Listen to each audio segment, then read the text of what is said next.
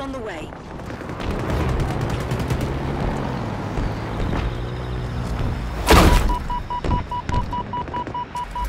License and registration not required.